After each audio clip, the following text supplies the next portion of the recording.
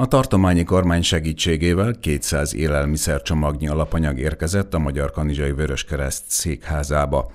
A 11 tonna száraz élelmiszert a jövő héten kapják meg a leginkább rászorulók a községben, amit a szociális központ határoz meg. Magyar Kanizsa községben nyáron két hónapig szünetel a népkonyha működése.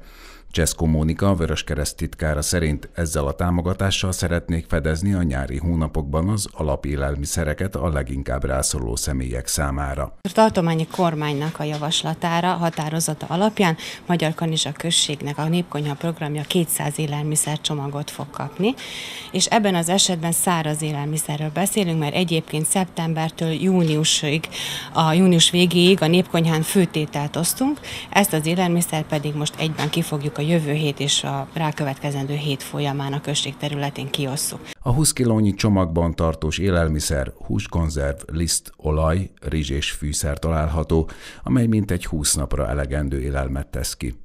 Csikós László, szociális védelemmel megbízott tanácstag elmondta, ez a 200 csomag is nagy segítség, de sokkal többre lenne szükség a községben. Egy két és fél évvel ezelőtt 2400 egyén gyermek kapta a szociális segélyt.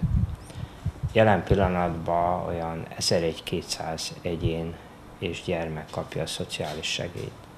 A gyerekpótlék az nem szociális segély kategória. Jelen pillanatban, amikor aratás van, amikor sok munka van, senki se gondol arra, hogy hogyan is élik át ezek az emberek a nyarat. Tudnélik, a népkonyha ami a köztársasági Vöröskeresztnek és az önkormányzatnak köszönheti a létezését, az szeptember 1-től június 1-ig üzemel. Magyar Kanizsa községben megközelítőleg 20 éve működik valamilyen formában népkonyha, amelynek az üzemeltetésében a Vöröskereszt a szállítási költségeket és az élelmiszert biztosítja, míg az önkormányzat a kiosztásban és az ételek elkészítésében nyújt pénzbeni segítséget, vagyis évente 1,25 millió dinárt különítenek el erre a célra a költségvetésből.